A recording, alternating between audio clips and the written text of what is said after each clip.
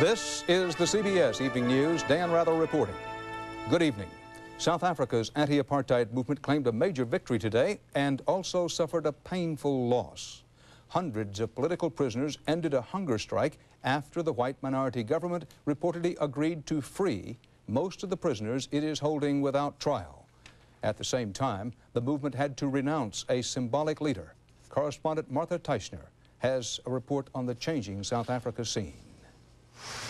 Hiding from the press all day, a besieged Winnie Mandela finally left her office shielded by her football team bodyguards. It is her involvement in their activities that today forced leaders of South Africa's anti-apartheid movement to repudiate the woman they themselves once called the mother of the nation. We have been outraged by the reign of terror that the team has been associated with. Mrs. Mandela and her football team are now under investigation in at least three murder cases. It was the killing of Stompie Moeketsi that finally brought about her condemnation. The 14-year-old activist was reportedly last seen being carried away from the Mandela house by members of the football team, savagely beaten. Had Stompie not been abducted by Mrs. Mandela's football team, he would have been alive today. Today, major players in South Africa's black community effectively wrote Winnie Mandela's political obituary. Dragged um, a great name unnecessarily in the mud, and we could not afford it in our struggle. The South African government was quick to take advantage of a propaganda windfall against her jailed husband's organization, the outlawed African National Congress. The children of violence that they themselves have bred have in fact now started to eat up the organization that gave them birth. Weakened by its internal struggle, the anti-apartheid movement today was strengthened by what is widely regarded as a major victory against South Africa's policy of detention without trial. Determined to avoid an international crisis, the government quietly made a deal to release many, if not most, political detainees in return for the end of a three and a half week hunger strike. Never ever have they been shaken, shaking in their boots like they are today. What should have been the anti-apartheid movement's finest hour was tempered by the downfall of its first lady. Today, both the government and the anti-apartheid movement lost something significant. Martha Teichner, CBS News, Johannesburg. President Bush today promised to keep U.S. military aid flowing to rebels who are close to final victory in Afghanistan. He also said he was not giving up on the Nicaraguan rebels, the Contras, who are close to final defeat in Central America. Foreign Affairs led the agenda today as President Bush held a wide-ranging interview with reporters in the Oval Office. CBS News White House correspondent Lesley Stahl has our report. President Bush announced that the U.S. will continue to supply rebel forces in Afghanistan with military aid. The administration charges that the withdrawing Soviet army flew in massive amounts of ammunition and other weapons at the last minute for use by the communist Kabul government. It would not be fair to have a tremendous amount of lethal supplies left behind and then cut off support for resistance. Mr. Bush also said he has no intention of abandoning another of Ronald Reagan's rebel armies, the Contras. I have every intention of seeing that these people receive humanitarian support. He expressed mistrust of a new agreement among Central American presidents under which the Contras would be disbanded in exchange for democratic reforms in Nicaragua. He said previous commitments for reforms have just been fluffy promises.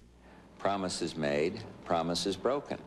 And so I think we have to be uh, wary.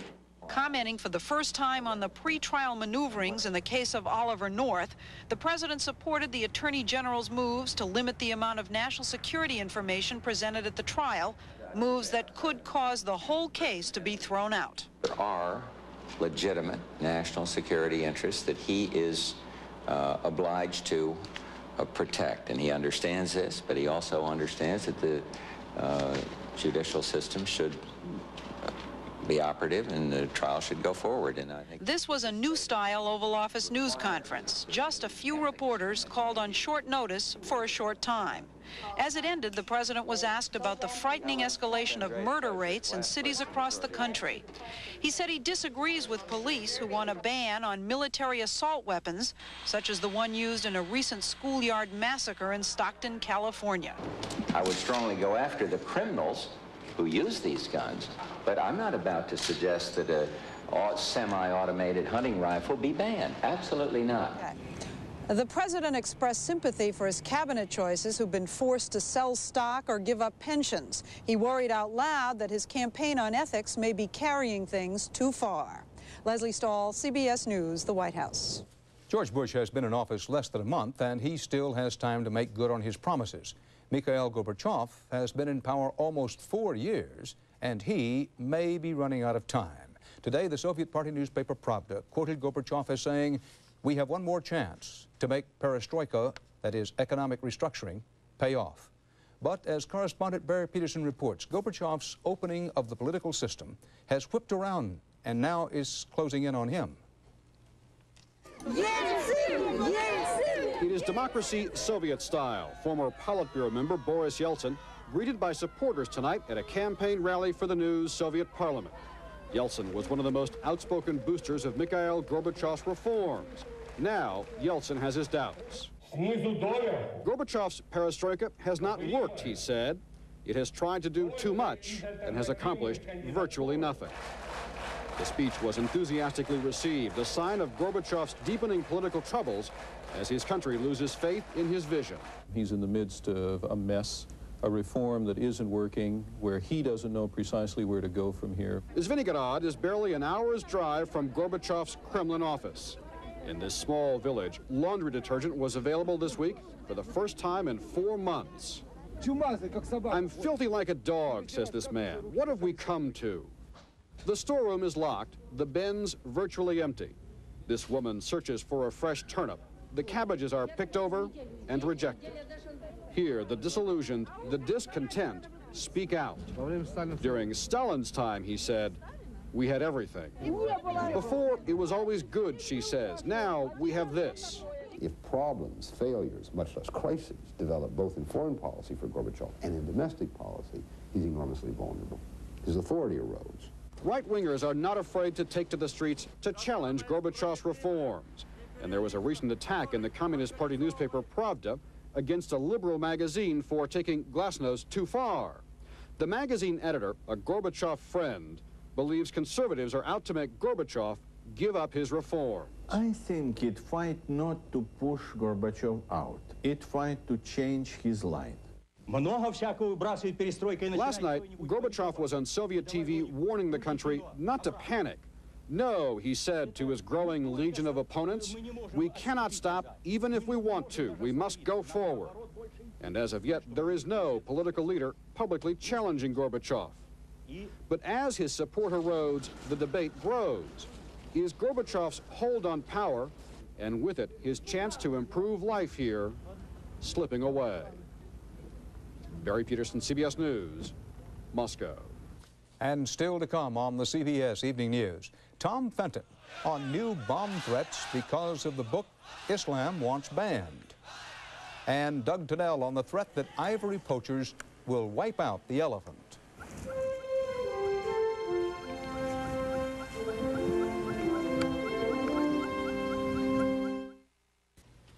Britain's chief investigator into the bombing of Pan Am Flight 103 said today the bomb was smuggled on board in a radio cassette player. Searchers came to that conclusion after sifting through more than 10,000 pieces of the wreckage scattered around Lockerbie, Scotland. The chief detective also said today that the explosive was probably placed aboard in Frankfurt, where the flight originated and where there had been threats.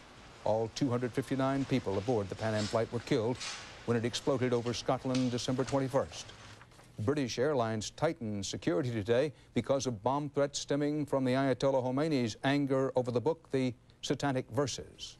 Muslim fundamentalists worldwide are gunning for British author Salman Rushdie. They insist his novel defames their religion. Our chief European correspondent, Tom Fenton in London, begins our coverage. British authorities are taking seriously the threat to bomb British flights to India. The threat comes from a group calling itself the Iranian Guards. And after demonstrations yesterday in Iran, Tehran radio said that volunteer assassination squads are on their way to Britain. Iranian religious leaders have doubled to more than $5 million the bounty they're offering for killing Salman Rushdie. As the controversy over Rushdie's book escalated, the Foreign Office called in Iran's diplomatic representative in London to lodge a protest. Nobody has the right to incite people to violence on British soil or against British citizens. Ayatollah Khomeini's statement is totally unacceptable. Khomeini's edict that Rushdie and his publishers must be killed for insulting the Prophet Muhammad threatens to torpedo Iran's efforts to improve relations with the West. He's losing contact with reality. He's 86, and recently they hardly ever broadcast his voice on Tehran radio. He's becoming something of an embarrassment to them. Even if some Iranian government officials are reluctant, there's a network of Iranian hit squads in Europe ready to carry out Khomeini's orders. In 1987, an underground cell bombed the car of a leading Iranian dissident in London. Another hit squad here bombed a store distributing anti-Khomeini videos. Tonight, Rushdie and his American wife are in hiding, presumably somewhere here in Britain. Both are under armed police guard. Experts say they may need protection for the rest of their lives. Tom Fenton, CBS News, London. In the United States, the book is selling out. Viking Press's first printing of 50,000 copies gone. But while in the short run, death threats might be good for the book business, those threats have sent a chill through and raised the hackles of authors who fear the fact that a writer may be killed for what he's written. Already the fear is growing. There are writers who are not willing to come out and support uh, Salman Rushdie because they're afraid they might be targeted too. It's extremely scary to find that writers are now potentially on the block, so to speak. It, it's uh, thoroughly frightening. Most of the four million Muslims who live in this country have not read the book, but they are outraged at what they believe to be the blasphemy against the Prophet Muhammad. This is not an intellectual exercise. It is purely scandalizing the holy names, scandalizing a personage who is central to a faith. From London, a Muslim author and friend of Rushdie's paints a bleak picture. Salman may be safe for the next week, he may be safe for the next three months, but this threat will hang over his life for the rest of his life. Muslim, Muslims are extremely uh, dangerous people when, when the Prophet uh, has been insulted. I'm very worried for his safety, and I'm very worried for what this kind of intimidation means for the future of literature. Authors who are used to speaking through their works are now leaving their typewriters, taking a stand to protect what is yet to be written. Betsy Aaron, CBS News, New York. Possible new trouble tonight for the John Tower for Defense nomination. More, but non-specific inferences about Tower's private conduct are now coming from Kenneth Adelman. He's the man who coordinated President Reagan's U.S. arms control policy while Tower was negotiating with the Soviets in Geneva. Adelman said today that Tower's, quote, lack of discretion proved troublesome, unquote. He gave no specifics, but did say Tower's job performance was not directly affected.